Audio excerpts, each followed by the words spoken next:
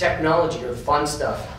So on the audio system, on the limiteds, we're going to have standard, a new 7-inch high-definition touchscreen that has a customizable home screen, much like some of our other Entune units. It's going to give you, yeah, this is one of my favorite bands, but um, it's going to give you a lot better, uh, clearer definition. This is also available on the XLE and SE.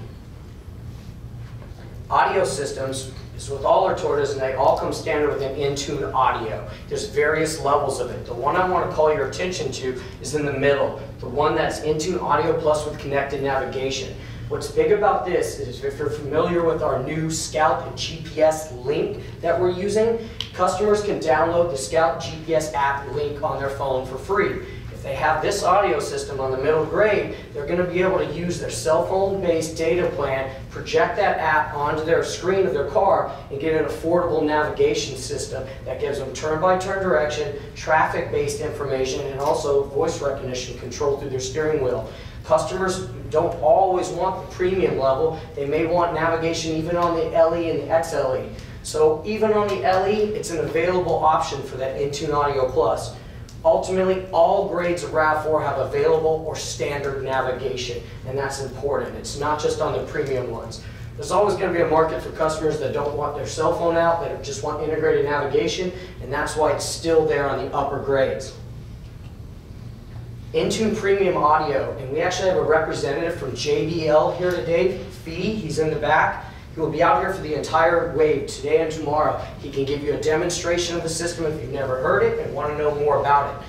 Ultimately, it's an available upgrade on our SEs and our Limiteds. It's going to take you from 6 speakers to 11 GreenEdge speakers, including a subwoofer, and it also has a JBL amplifier. So that's our most premium audio system that's available in our upper grades.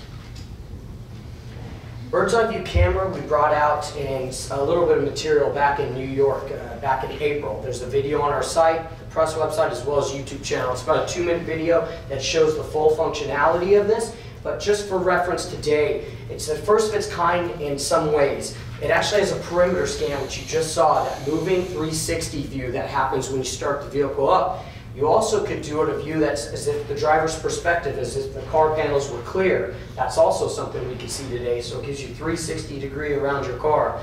It also has an overhead view when you're driving at speeds about under 7 miles an hour and forward or reverse with dynamic grid lines front and rear. Park sonar front and rear is built into it. You also have a curb view so you can see both curbs and parking lines and where your wheels are. One thing on the overhead view that's cool too is since it's a high definition one, you can actually zoom in on all four corners to get a better look at what you're about to come up to. What's unique on it, at least in this segment, is that it's a truly panoramic view. One of our competitors offers this, but it's four separate images with hard black lines and some blind or blurry spots. This is a seamless panoramic view, just like if you were using your cell phone to make a pano picture. It's going to give you 360, no lines, no seams, and high definition. I'll be out there today if you want to test it out. There's also a track at El Toro that's specifically meant to test this out, and it's the button right next to your emergency flasher. It's a little camera indicator. Some people call it a coffee cup, I'll be honest. You, your seat today, it looks like a camera.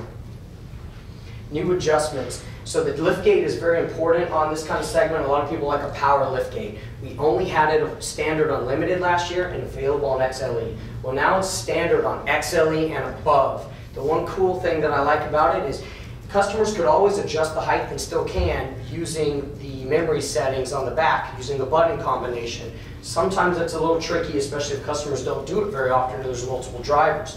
So what customers can do now for the first time is built in with your new MID and four-way switch, you can control this and set it in six selectable settings very easily. So whether it's the customer or the dealership, less hassle in trying to adjust the height. Maybe it's the height of the driver, maybe it's the height of how much overhang they have in their garage. This is going to allow them to set it to what they need very easily, making it much simpler for them.